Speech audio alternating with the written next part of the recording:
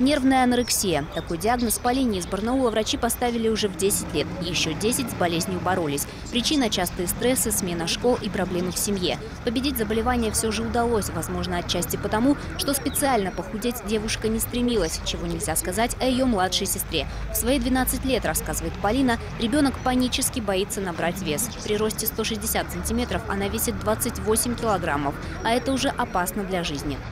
Приходишь с простудой, говорят, у вас дефицит массы, кушайте больше, просто-напросто. Да, потому что обещают проблемы и с сердцем, и с вегетососудистой системой. Она говорит, я вот это не хочу, я это не ем, мне животных жалко. Смотрит на Инстаграм, говорит, девочки там, а подписана еще на пабликах ВКонтакте, которые 40 килограмм, анорексия, то есть те, которые пропагандируют то, что нужно быть худой, очень она не хочет поправиться. Я ненавижу свое тело, это омерзительно. Такими постами пестрит Инстаграм. Девочки-подростки подробно рассказывают о своем самочувствии, сидя на шоколадной или питьевой диетах. О том, сколько приняли таблеток для очищения организма, когда упали в обморок и как переносят булимию. Некоторые заявляют, что конечная цель таких диет – смерть.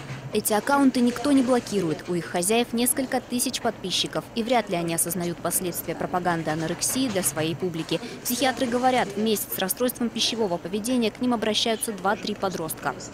Отказ от приема пищи – это, можно сказать, одно из смертельных заболеваний в психиатрии. Это проблема нашего современного общества. То есть э, это э, происходит все в результате общения, той или иной формы общения. То есть неважно, это на, общение на уровне э, межличностного взаимоотношений между ребятишками разных возрастов, либо это общение внутри социальных сетей, э, где дети вот заинтересованы одной из таких форм э, саморазрушающего поведения, как отказ от приема пищи. В России из 350 женщин одна больна анорексией. В Европе каждая сотая.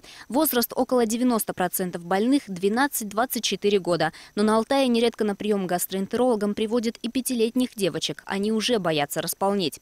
Кстати, четверть участниц детских конкурсов красоты начинают страдать ранней анорексией. У многих появляются суицидальные наклонности. Некоторые из них – постоянные подписчики групп похудения. В таких группах, как рассказывают школьники, состояла и барнаульская семиклассница, которая в январе январе на глазах у матери шагнула из окна.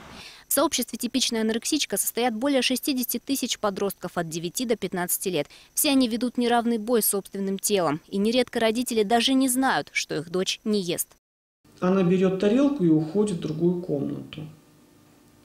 И возникает вопрос, а если это она в другой комнате?